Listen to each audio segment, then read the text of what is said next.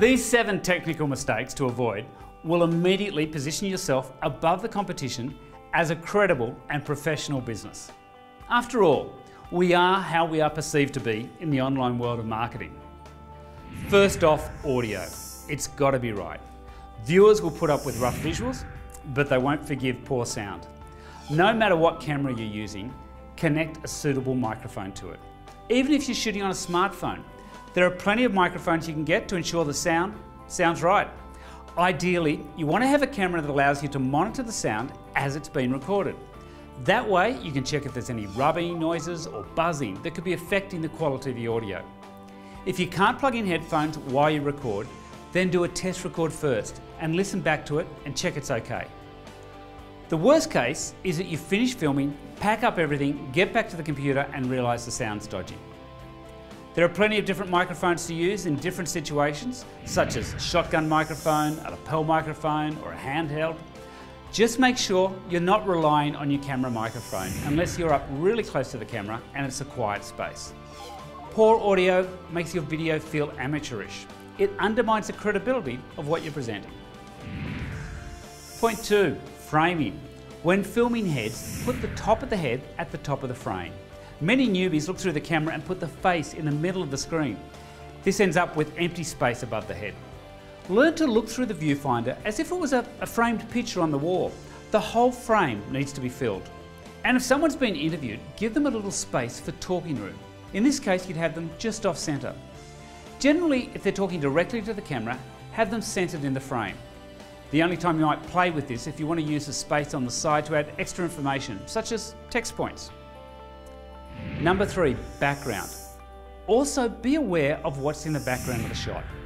This will form part of the story you're telling, so choose wisely. Avoid filming people up against walls. It creates shadows, it's uninteresting, and it's flat. The more depth you can have in the picture, the better. Depending on what is being presented, the background provides an opportunity to show some additional information that can enhance the character of the presenter or the information you're telling. Number four, steady as she goes. A tripod is a must for newbies. For every rule, there are exceptions, but before you start breaking the rules, know why you're doing it. So for now, stick your camera on a tripod and let the presenter do the interesting stuff, or let the picture tell the story. Having unexplained camera movement distracts the viewer and reminds them of the operator behind the camera rather than the presenter in front of the camera. And the impact of your message gets diluted. Lighting. Lighting brings out the colour in a picture. It gives it life. Ensure your subjects are well lit and certainly avoid having them against an extremely bright background so that they appear silhouetted. You'll find if there is not enough light, the subjects will appear dull and it'll be hard to find focus on them.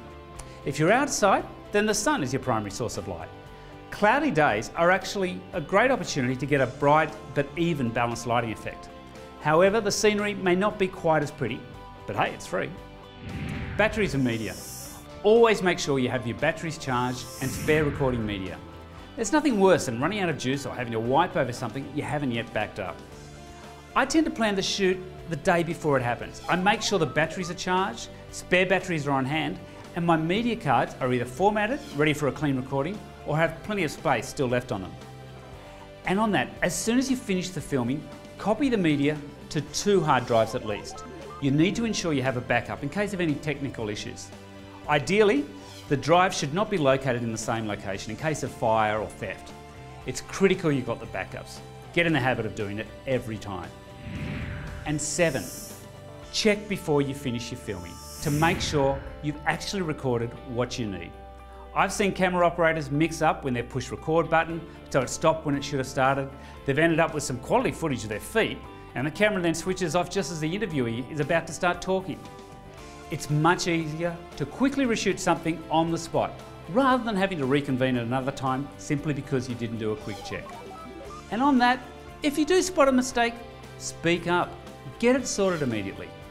So stick to these fundamentals and you'll stand out as a credible business rather than a dodgy one that can't be trusted. If you want to watch more ways to ensure your videos hit the mark and engage your audience so that you generate more business and more sales, then click on this link just below.